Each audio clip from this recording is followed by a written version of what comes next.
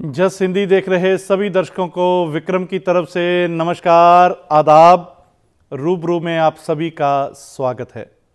दोस्तों, जब बात चलती है संगीत की, बात चलती है गीतों की तो कई पुराने चेहरे हमारे सामने आ जाते हैं, चाहे वो स्वर्गीय मोहम्मद रफ़ी जी हों, किशोर कुमार जी हों, मन्ना डे जी हों, मुकेश जी हों, ऐसे अनेक अनेक कलाकार हैं जिन्होंने अपनी संगीत के ज़रिए एक अमर अपनी यादें छोड़ी। और आज भी जब हम उन गानों को सुनते हैं तो जीवन की सच्चाई आज की लगती है कि जैसे आज की ही बातें ये सिंगर कर रहे हैं। और यही एक सच्चाई होती है संगीत में, चाहे वो कितने ही समय पहले रिकॉर्ड किए गए गाने हों या आज के गाने हों, वो एक समाज का दर्पण लगते हैं, समाज की सच्चाई लगते हैं ऐसे गाने।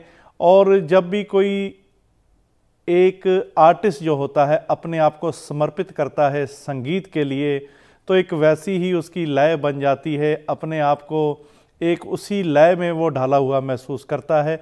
आज के जो हमारे गेस्ट हैं, इन्होंने सारा जीवन संगीत की ऐसी सेवा करी और बल्कि पुराने गाने भी जब ये गाते हैं तो बिल्कुल वैसी ही एक लौर में ये गाते हैं और वैसे एक दौर में हमें ले जाते हैं। सरदार तरलोचन सिंह जी आइए एक बार इनके साथ मुलाकात करते हैं और इनके साथ बातों का सिलसिला जारी करते हैं। जी त्रिलोचन सिंह जी नमस्कार और बहुत बहुत स्वागत है आपका। हाँ जी नमस्कार जी विक्रम जी नमस्कार सत श्रीकाल जी। और जस पंजाब जो भी चैनल जस हिंदी चैनल के सभी दर्शकों को मेरा नमस्कार सत श्रीकाल जी जैसा कि मैंने कहा त्रिलोचन सिंह जी आप पुराने गाने भी गाते हैं और ना केवल पुराने गाने बल्कि आपने अपने भी कितने ही सॉन्ग गाए पंजाबी फ़िल्मों में भी आपने प्लेबैक सिंगिंग करी और ये सारी दौर जो है आपने कैसे एक रहा इसके बारे में बातें करेंगे। लेकिन पहले ये जानना चाहेंगे कि आपका जन्म कहाँ पर हुआ कहाँ से आपके जीवन की शुरुआत हुई? विक्रम जी मेरा जन्म अमृतसर शहर में हुआ। तो जब मैं छोटा था ना जब मैं मुझे याद है अभी को पाँच साल का या छह साल का मैं जब हुआ तो संगीत का मुझे पता नहीं शुरू से ही शौक था तो मैंने जब मैं स्कूल जो प्राइमरी स्कूल होता है उसमें मैंने एडमिशन लिया तो मैंने आप अपने आप को गाते ही पाया स्कूल में ना जी। तो बस ये शौक मुझे बचपन से ही था जी संगीत का। तो परिवार में कोई और, और भी ऐसे था पहले जो पहले म्यूज़िक की लाइन में था या कैसे ये शौक पड़ा? आ, हाँ जी हाँ जी मेरे परिवार में आ, मेरी बड़ी सिस्टर जो थी ना उसको संगीत का शौक था उसको गाने का शौक था। आ, मेरे ख्याल में शायद वही चीज़ देखकर मुझे भी गाने का शौक पैदा हुआ। और सबसे बड़ी बात है कि रफी साहब क्योंकि हमारे वो भी अमृतसर का उनका जन्म है कोटला सुल्तान का। जी। तो जब रफी साहब के रेडियो पे गाना मैं सुनता था कुदरती उनका ऐसा प्रभाव मुझ पर पड़ा तो शुरू से ही मैं ज़्यादा फिर रफी साहब को आ, सुन सुनकर मैंने गाना सीखा। पर घर में से मेरी बड़ी सिस्टर जो थी उनसे मैंने ये गाना सीखा था। जी और अगर तालीम की बात करी जाए क्योंकि संगीत के लिए एक तालीम जो है बहुत ज़रूरी होती है वो तालीम आपने फिर कहाँ से ली कहाँ से सिखलाई ली संगीत की? आ, हाँ जी तलीम में एक तो जब स्कूल टाइम था आ, उसके बाद फिर मैं ज्ञान आश्रम स्कूल है हमारे अमृतसर में वहाँ से मैंने हायर सेकेंडरी तक पास किया। तो बस मैं गाता ही रहा जी मैं ना गाने कुदरती गाता ही रहा सुन सुन के गाता रहा।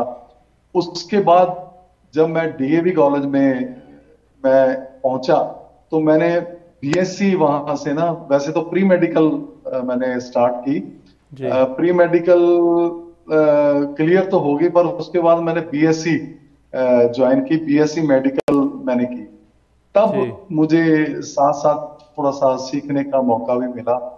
हमारे अमृतसर में ही भारतीय संगीत कला मंदिर है। वहाँ मैं जाता था तो वहाँ से मैंने इनिशियल ट्रेनिंग जो थी है वहाँ से मैंने ली। बाकी साथ साथ मैं रफी साहब और महेंद्र कपूर साहब जी के मैं गाने सुनता रहा और मेरा सफ़र जो भी आगे बढ़ता रहा। जी बहुत खूब। तो हम चाहेंगे तलोचन सिंह जी कुछ अपनी आवाज़ में आप हमें सुनाइए। जी। आ, मैं आपको विक्रम जी रफ़ी साहब का ही गाना आ, मैं सुनाता हूँ। वहाँ से शुरुआत करते हैं। चाहूँगा मैं तुझे साज सवेरे फिर भी कभी अब नाम को तेरे आवाज़ मैं ना दूँगा। आवाज़ मैं ना दूँगा। चाहूँगा मैं तुझे साज सवेरे, फिर भी कभी अब नाम को तेरे आवाज़ मैं न दूँगा।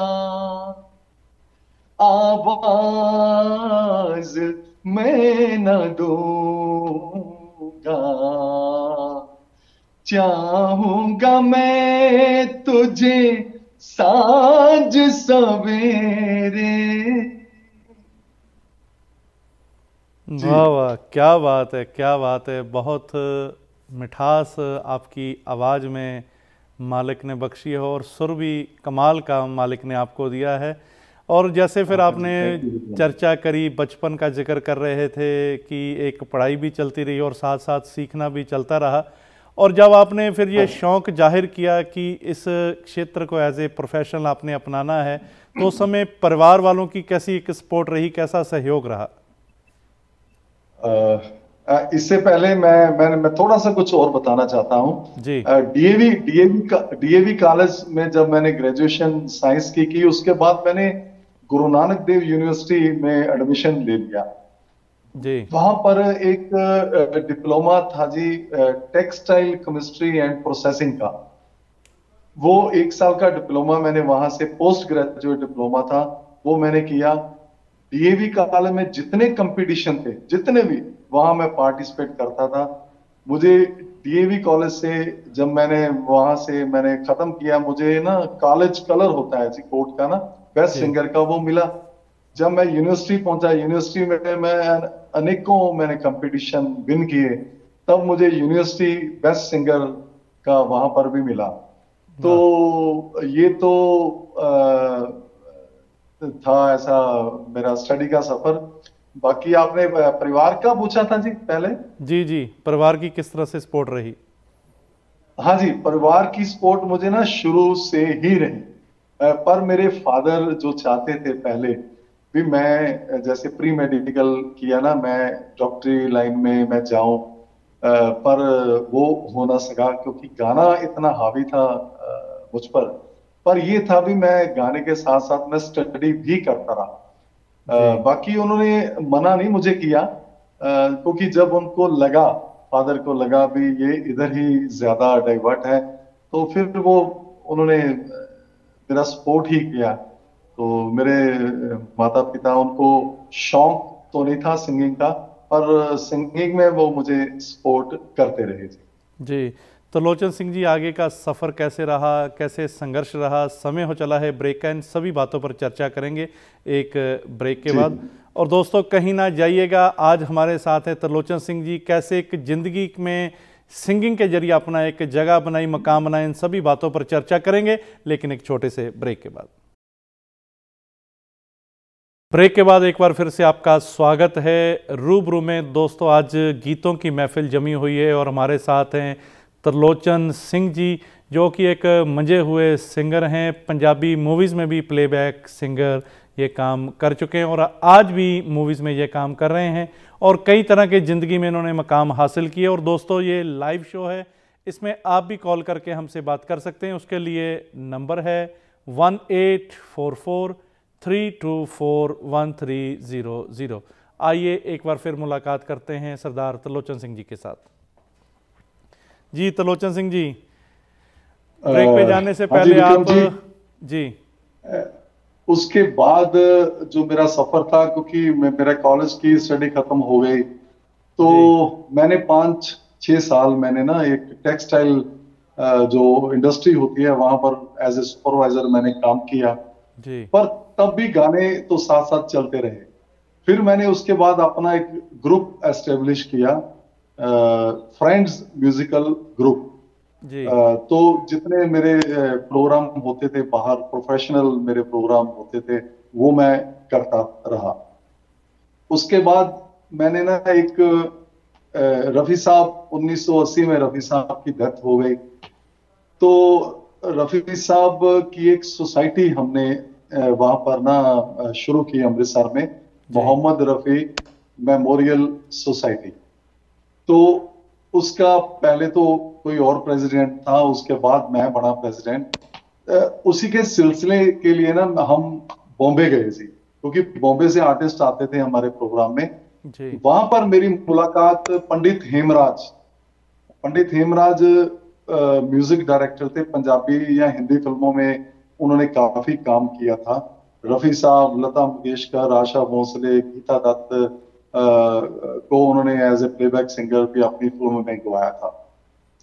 तो मेरी उनसे मुलाकात हुई। तो लकीली एक पहली जो मेरी रिकॉर्डिंग थी वो एक पंजाबी फ़िल्म थी। फ़िल्म का नाम था दिला द मेहरा। तो जो मेरा फ़र्स्ट सॉन्ग बॉम्बे में रिकॉर्ड हुआ स्टूडियो में तो मेरे साथ ड्यूट सॉन्ग था दिलराज कौर जी। दिलराज कौर जी पंजाबी फ़िल्मों के काफ़ी मशहूर प्लेबैक सिंगर हैं। हाँ उनके साथ मेरा पहला गाना फ़िल्म में रिकॉर्ड हुआ। उसके बाद पंडित हेमराज जी के म्यूज़िक में टी सीरीज़ कंपनी में मेरी कैसेट गीता दा सरमाया पंजाबी कैसेट जो कि पंडित हेमराज जी का म्यूज़िक था उनकी कंपोजिशन थी तो वो भी दिल्ली में रिकॉर्ड हुई थी। जी तरलोचन तो, सिंह जी आप बता रहे थे कि जो पहला गाना रिकॉर्ड हुआ दिलों दा महरम पंजाबी मूवी के लिए उस गाने के बोल हो जाएँ हाँ जी आ, वो गाना था जी तेरे पिंड विच लाया डेरा बन के आया नी मैं सपेरा तेरे पिंड विच लाया डेरा बन के आया नी मैं सपेरा तेनू बस विच करना नी हुन नाल तेरे जीना, तेरे नाल मरना नी तेरे वर्गे कई सपेरे, मारन रोज गली विच फेरे, झूठे दावे करना वे। बिन आई मौत भी बाकानू मरना वे। और तेरे पिंड विच लाया डेरा बन के आया नी मैं सपेरा।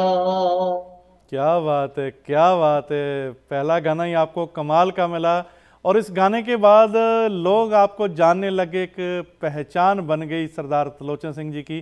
तो उसके बाद कैसा एक महसूस किया आपने जब पहली बार लोगों ने ये गाना सुना? हाँ जी मैंने बहुत अच्छा महसूस किया जी। जब स्टूडियो में मेरी रिकॉर्डिंग चल रही थी ना तो जब गाना खत्म हुआ तो रिकॉर्डिस्ट वहाँ से उठकर ना, वो मेरे, वो डबिंग रूम जो होता है रिकॉर्डिंग रूम वहाँ पर आया, उसने मुझे गले से लगा लिया, क्योंकि वो कहने लगा मुझे भी आपकी वॉइस में ना मुझे रफी साहब और महेंद्र कपूर जी की झलक नज़र आ रही है। आप अगर बॉम्बे ही रहते हो तो आपका इतना स्कोप है फ़िल्मों में गाने का, आप बॉम्बे ही रहो। तो मैं भी मदद करूँगा आपकी। जी। पर कुछ अनलकीली ना मुझे अमृतसर में वापस क्योंकि फादर का मैं अकेला ही बेटा था तो फादर की मेरे साथ अटैचमेंट बहुत थी। वो कहते थे अपना काम करके ना वापस अमृतसर आना है।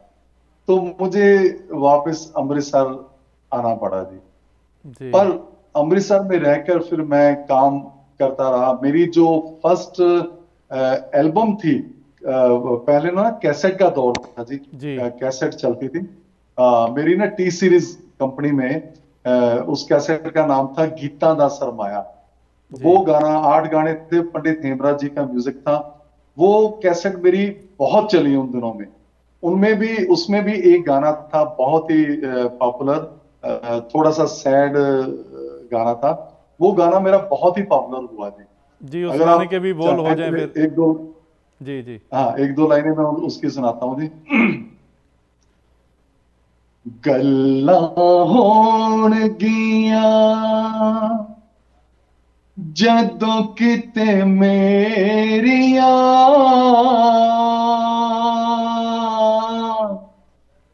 गल्ला होण गिया ने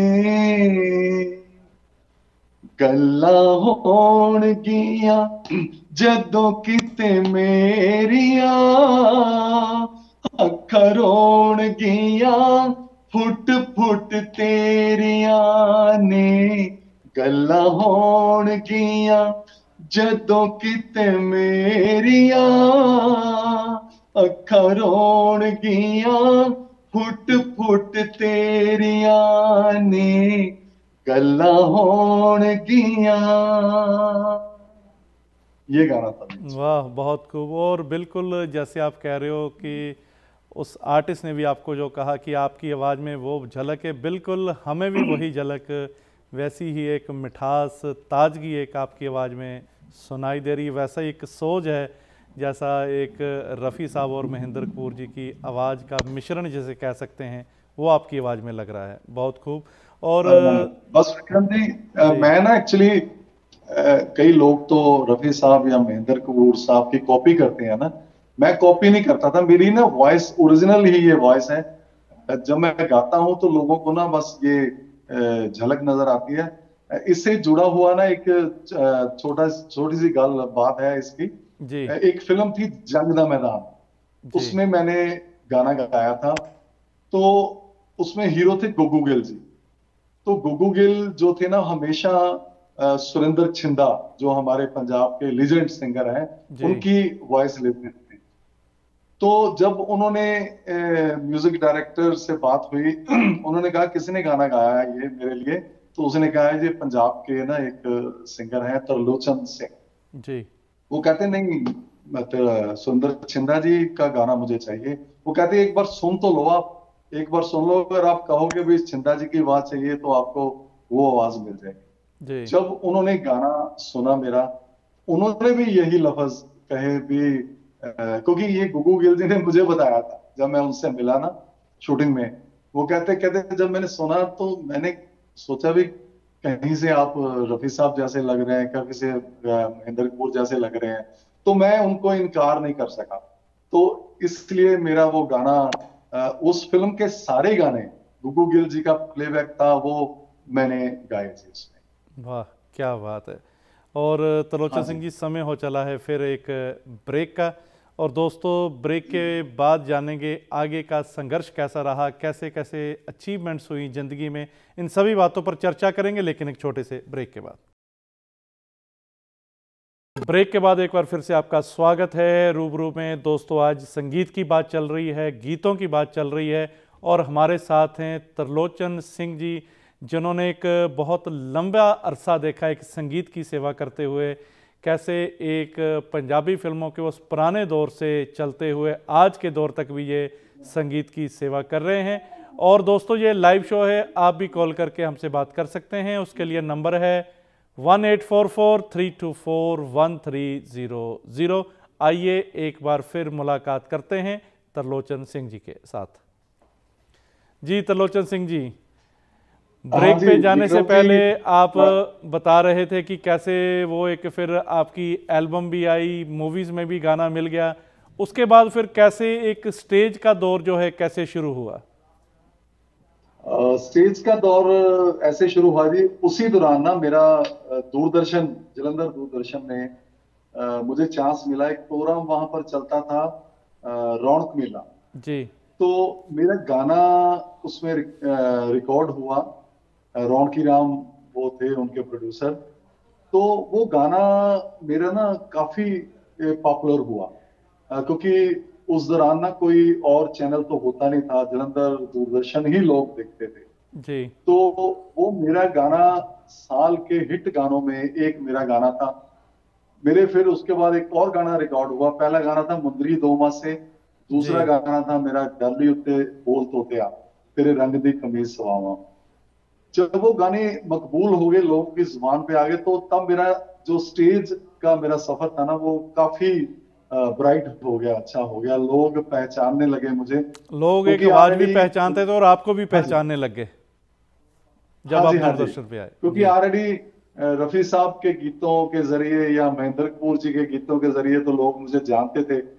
पर वो जो मेरे अपने गाने थे ना उस गानों की वजह से भी मेरी पहचान जो बन रही थी कुछ अखबारों में इंटरव्यूज़ मेरे हुए। बड़े बड़े अच्छे प्रोग्राम मैंने अटेंड किए। बड़ी बड़ी नाइट्स मैंने अटेंड की अमृतसर में दिल्ली में मुंबई में। पर इसी दौरान मुझे एक मौका मिला अमेरिका आने का। जी। उसी दौरान। जी। अमेरिका में मुझे ना यहाँ पर एक डॉक्टर सुरेंद्र शर्मा और प्रीत महेंद्र तिवारी जी वो जी। थे। वो प्रीत महेंद्र तिवारी जी से मेरा संबंध था। वो भी अब इस दुनिया में नहीं है। डॉक्टर सुंदर शर्मा जी भी कल परसों ही उनका देहांत हुआ। तो वो एक शो ऑर्गेनाइज कर रहे थे तो मुझे एज ए सिंगर वो अपने साथ लेके गए। अमेरिका में हमने न्यूयॉर्क में भी शो किए सैन फ्रांसिस्को में भी शो किए। तो काफ़ी अच्छी अच्छी स्टेजेस मेरे ना स्टार्ट हो गए। फिर दिल्ली में दिल्ली में मुझे एक बार म्यूज़िक डायरेक्टर रवि बॉम्बे से आए थे एक प्रोग्राम था। तो वहाँ पर मुझे उनके सामने महेंद्र कपूर जी का गाना गाने का मौका मिला। तो इतना खुश हुए वो कहते थे एक्चुअली आपने बिल्कुल महेंद्र कपूर जी की याद मुझे दिला दी। तो ऐसे ही फिर दिल्ली में एक और शो था जहाँ पर फ़िल्म एक्ट्रेस मनोरमा पुरानी एक्ट्रेस थी। उनके सामने भी मैंने महेंद्र कपूर जी का गाना गाया। तो। काफ़ी बड़ी तलोचन जी मुझे मिलने तलोचन सिंह जी थोड़ा पीछे लेके जाऊँगा जहाँ से आपने वो ज़िक्र किया कि दूरदर्शन पे आपका गाना जो हिट हुआ मुंदरी दो मासे उस हाँ गाने के बोल हो जाए। हाँ जी वो मैं आपको दो बोल सुनाता हूँ उसके। जी। मुंदरी दो मासे चन्ना वे मुंदरी दो मासे वे मुंदरी दो मासे ਚਨਾਵੇ ਮੁੰਦਰੀ ਤੋਂ ਮਾਸੇ ਮੈਨੂੰ ਦੇ ਜਾ ਟੋਲ ਸਿਪਾਈਆ ਵੇ ਮੈਨੂੰ ਦੇ ਜਾ ਟੋਲ ਸਿਪਾਈਆ ਵੇ ਮੇਰਾ ਦਿਲ ਨਾ ਤੋੜੀ ਮਾਇਆ ਵੇ ਮੁੰਦਰੀ ਤੋਂ ਮਾਸੇ ਚੰਨਾ ਵੇ ਮੁੰਦਰੀ ਤੋਂ ਮਾਸੇ विमुंदरी तो मासे चन्ना विमुंदरी तो मासे। ये गाना था विमुंदरी तो मासे। जी क्या बात है। उस, उसके बाद एक और मेरा उसके उससे ज़्यादा ही पॉपुलर हुआ उसके मैं दो आ, जी। आपको दो लाइन बताता हूँ। डाली उत्ते डाली उत्ते बोल तो ते आ तेरे रंग दी कमीज सवामा। ਡਾਲੀ ਉੱਤੇ ਡਾਲੀ ਉੱਤੇ ਬੋਲ ਤੋਤਿਆਂ ਤੇਰੇ ਰੰਗ ਦੀ ਕਮੀਜ਼ ਸਵਾਵਾਂ ਮੇਰੇ ਯਾਰ ਦੀ ਜੇ ਖਬਰ ਲਿਆਵੇਂ ਧਰਮ ਨਾਲ ਕੁੱਟ ਕੁੱਟ ਚੂਰੀਆਂ ਪਾਵਾਂ ਆਹਾ। ਮੇਰੇ ਯਾਰ ਦੀ ਜੇ ਖਬਰ ਲਿਆਵੇਂ ਧਰਮ ਨਾਲ ਕੁੱਟ ਕੁੱਟ ਚੂਰੀਆਂ ਪਾਵਾਂ ਡਾਲੀ ਉੱਤੇ ਡਾਲੀ ਉੱਤੇ ਬੋਲ ਤੋਤਿਆਂ ਹੋ वाह वाह क्या बात है क्या बात है। त्रिलोचन सिंह जी ये लगभग कौन सा समय रहा होगा जब आपके ये गीत हिट हुए? ये ये मेरे गीत ना 90 की बात है जी 90s की। तो तब मेरे गाने ना ये तकरीबन 92 93 की बात है जी। जी। क्योंकि तब दूरदर्शन काफ़ी पॉपुलर था। ये मेरे उस टाइम के गाने हैं। जी। तो त्रिलोचन सिंह जी आपने काफ़ी ड्यूट सॉन्ग भी गाए। कौन कौन के सिंगर के साथ आपको गाने का मौका हाँ मिला? जी हाँ जी। आ, मेरी मैं जैसे मैं बता चुका हूँ आपको दिलराज कौर जी के साथ मेरा गाना रिकॉर्ड हुआ। एक गाना आ, मेरा रिकॉर्ड हुआ बॉम्बे में ही ना। आ, रफी साहब जो जब स्टेजों में गाते थे ना बाहर जाते थे दुबई या कहीं पर उनके साथ एक कृष्णा मुखर्जी सिंगर गाते थे। उनके साथ मेरा ड्यूट रिकॉर्ड हुआ। और जंगदा मैदान जंगदा मैदान में मेरा ड्यूट रिकॉर्ड हुआ जी सरबजीत कौर जिनको हम कोके कोका वाले के नाम से जानते हैं। कोका गाना बड़ा मशहूर हुआ था। फिर मेरा गाना रिकॉर्ड हुआ जी रंजना जी के साथ। रंजना जी हमारे जलंधर के बड़े मशहूर सिंगर है पंजाबी फ़िल्मों में गाते थे। फिर एक मेरा गाना फ़िल्म में रिकॉर्ड हुआ नीलम सानी। उनके साथ मेरा गाना रिकॉर्ड हुआ। तो बाकी एक जो नए गाना अभी मेरा रिकॉर्ड हुआ वो ज्योतिका टांगरी बॉम्बे की प्लेबैक सिंगर है उनके साथ मेरा गाना रिकॉर्ड हुआ जी जी और जहाँ आप बैठे हुए हम देख रहे हैं पीछे आपके काफ़ी स्मृति चिन्ह पड़े हैं। इनके बारे में बताइए कहाँ कहाँ पर आपको ये सम्मानित किया हाँ जी मेरे ये अवार्ड तकरीबन मेरे चार पाँच सौ अवार्ड मेरे ना जी शुरू से लेकर अब तक हैं। तो अवार्ड तो कई प्रोग्रामों में अच्छे मिले। मुझे गवर्नर एस एस रे उस टाइम थे उनसे भी मुझे बहुत बड़ा इनाम मिला।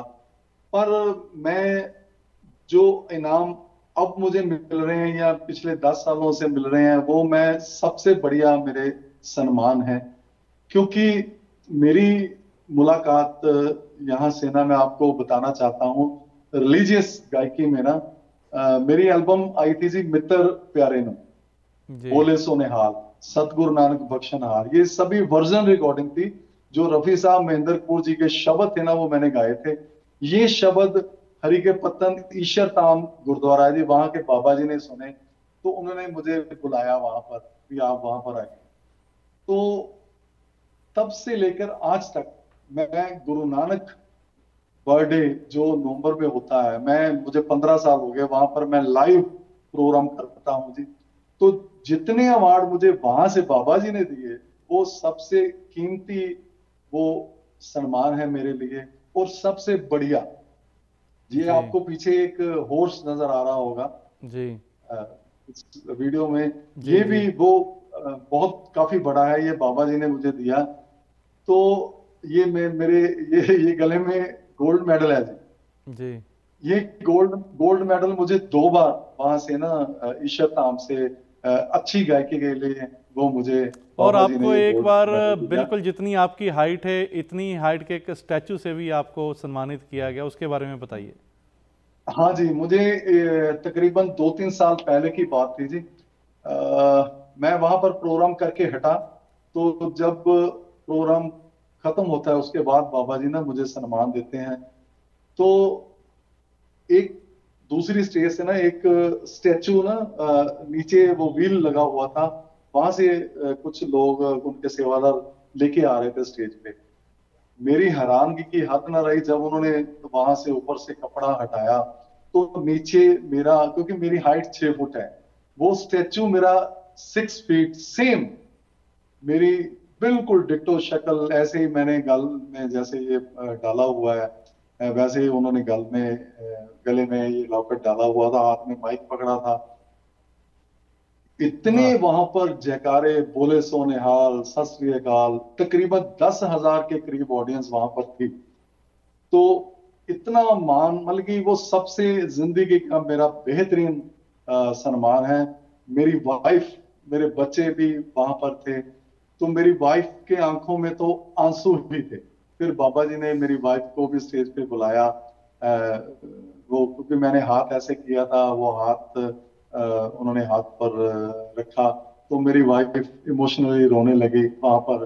तो ये सभी अवार्ड मेरी ज़िंदगी थे ज़िंदगी के बेहतरीन अवार्ड हैं, क्योंकि आर्टिस्ट के हिस्से में ये अवार्ड मैं समझता हूँ मेरे पास ही आया जितने भी आर्टिस्ट हैं ना और ये वाकई ये एक अपने आप में बहुत बड़ा सम्मान है जो आपने एक गुरु घर की सेवा करी। उस सेवा के बदले में आपको इतने बड़े एक सम्मान के साथ नवाजा गया। और तलोचन सिंह जी समय हो चला है अभी एक ब्रेक का। और दोस्तों ब्रेक के बाद जानेंगे आगे आने वाले क्या क्या अपकमिंग प्रोजेक्ट्स हैं क्या क्या और जो ड्रीम है उन पे काम चल रहा है। इन सभी बातों पर चर्चा करेंगे लेकिन एक ब्रेक के बाद। ब्रेक के बाद एक बार फिर से आपका बहुत बहुत स्वागत है रूबरू में। दोस्तों, बात कर रहे हैं हम तरलोचन सिंह जी, जो कि एक बहुत ही कुशल गायकी के लिए जाने जाते हैं साफ़ सुथरी गायकी के लिए जाने जाते हैं। आइए एक बार फिर इनके साथ मुलाकात करते हैं और उससे पहले जो हम इनका जो स्टैचू है जिनके साथ इनको सम्मानित किया गया, वो आपको दिखाते हैं। ये देख सकते हैं आप कैसे दो दो तरलोचन सिंह जी हमारे साथ हैं। एक लाइव और एक साथ में स्टैचू बिल्कुल हु बहू वैसा ही स्टैचू जैसा है इनका सम्मान किया गया। जी आइए एक बार इसके बारे में चर्चा करते हैं। जी तलोचन सिंह जी ये वाकई बहुत बड़ा एक आर्टिस्ट के लिए सम्मान है कि बिल्कुल वैसा ही हु बहू एक स्टैचू आपका तैयार किया गया और आपको एकदम से एक सरप्राइज़ दिया गया जब आपको ये सम्मान में ये दिया गया। और हाँ, हाँ बिल्कुल आप जैसे बिल्कुल वैसे ही लग रहे हैं। जी।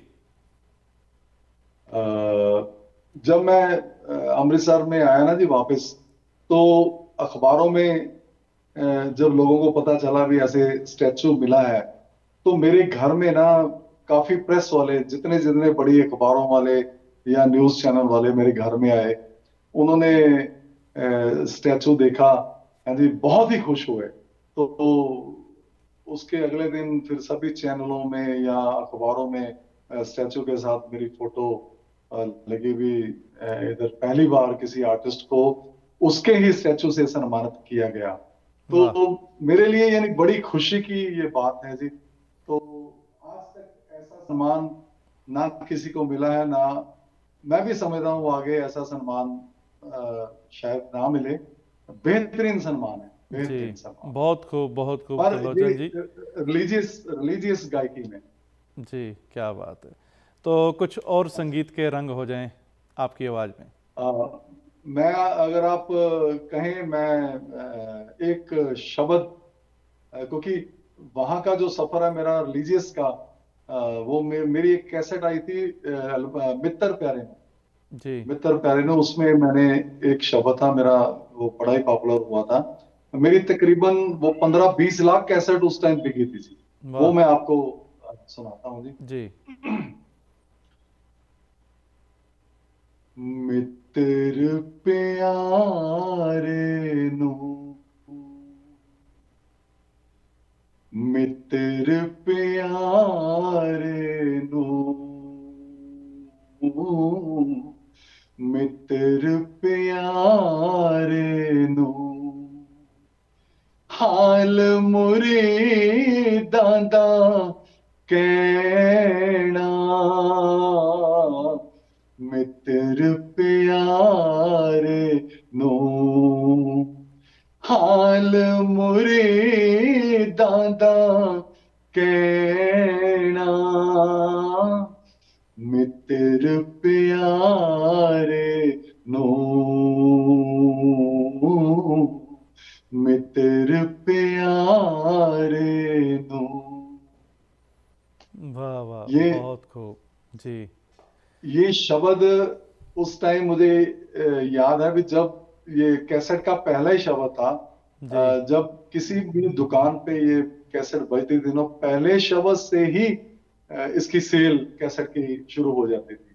जी। तो तब ये बहुत बिकी जी कैसेट जी और वाकई ये जो शब्द है अपने आप में एक संदेश देता है दसम पातशाह के द्वारा ये जो उच्चारित की गई पंक्तियाँ हैं एक ज़िंदगी को कैसे ठहराव देती हैं कि कैसे भी हालात हों अपने प्यारे के साथ अपने रब के साथ हमेशा जुड़ के रहना कैसी भी परिस्थिति जीवन में आए हर एक परिस्थिति में शुक्र और शुक्र करना बहुत बड़ी एक सीख थी इस शब्द के द्वारा जो हमें दी गई।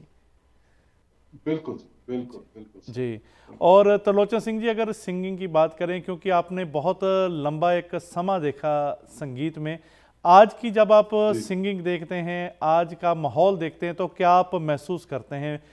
कैसे कंपेयर करेंगे पुराने समय और आज के समय को आप?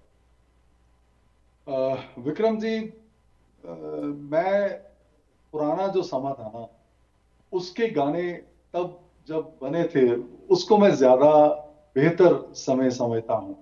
जी। क्योंकि जो म्यूज़िक डायरेक्टर थे उस टाइम के एक गाने पर सिटिंग होती थी गाना लिखा जाता था उसकी कंपोजिशन होती थी। जो हमारे लीजेंड्स रफी साहब किशोर कुमार मन्ना डे जी लता जी वो उस गाने की रिहर्सल करते थे। जी। तब तीन तीन चार चार दिन रिहर्सल होती थी तब वो गाना रिकॉर्ड होता था। उसकी वजह बस यही है आज क्योंकि रफी साहब को गए चालीस साल हो गए। आज भी उनके गाने उतने ही पॉपुलर हैं जितने की पहले थे। बिल्कुल। तो जो आज का आज का म्यूज़िक है ना जी बिल्कुल शोर शराबे वाला म्यूज़िक है। तो जो आज के म्यूज़िक डायरेक्टर हैं वो सिर्फ़ यंगस्टर के लिए गाने बनाते हैं। उसमें क्या होता है बीट होती है।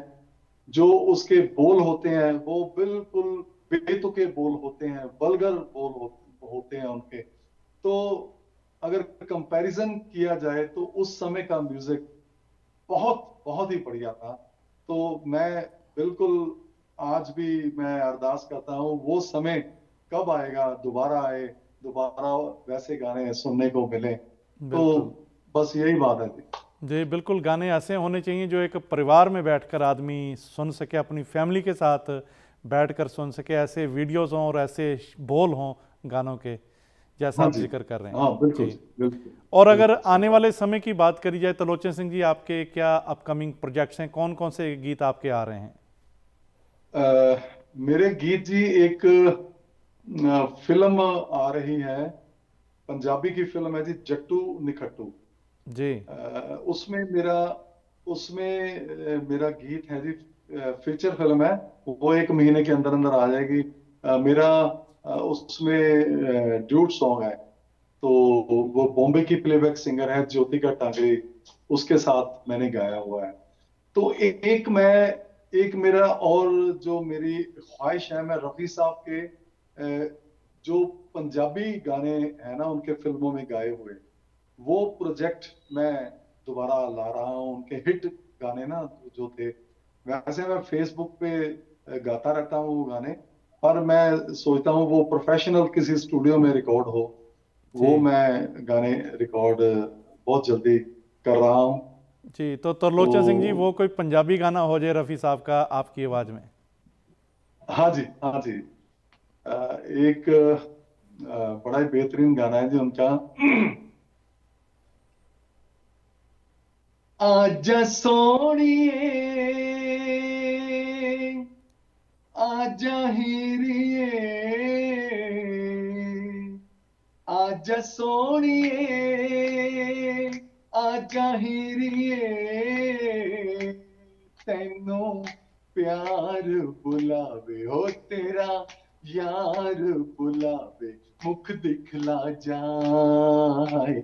ओ चोरी चोरी आ जाए, ओ चोरी चोरी आ जा आजा सोनिए, आजा हीरिए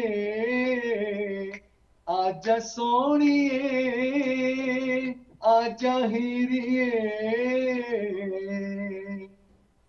वाह वाह, बहुत को बहुत को वो ऐसी आशा करते हैं और वेट करते हैं कि कब आपका ऐसी एल्बम जो है, वो पुराने रफ़ी साहब के गानों की दोबारा हमें सुनने को मिले, दोबारा मार्केट में आपकी वो कैसेट आएँ। और बहुत अच्छा वो फिर से एक दौर आए जैसे आपने बात करी कि जैसे एक वो गाने होते थे एक मस्ती भी होती थी लेकिन एक शायरी भी थी और एक मिठास भी थी और अर्थ भरपूर जिसे संगीत कहा जाता था गाने कहा जाता था ऐसे गाने दोबारा से हमें सुनने को मिले ऐसी आशा करते हैं। और समय हो चला है तरलोचन सिंह जी इस प्रोग्राम को यहीं समेटने का। आपका बहुत बहुत थैंक्स आपने हमें समय दिया। हमारे साथ अपने जीवन की बातें साझे करी। उसके लिए once again thank you so much thank you और दोस्तों ये थे तरलोचन सिंह जी कैसे एक ज़िंदगी में मकाम हासिल किया साफ़ सुथरी गायकी के ज़रिए। और दोस्तों आप भी हमसे बात करने के लिए हमें ईमेल कर सकते हैं। हमारा ईमेल है Vikram at just broadcasting dot com and info at com कल फिर मिलेंगे एक नई सोच के साथ, एक नई शख्सियत के साथ। आज के लिए विक्रम को दीजिए इजाज़त। नमस्कार, धन्यवाद।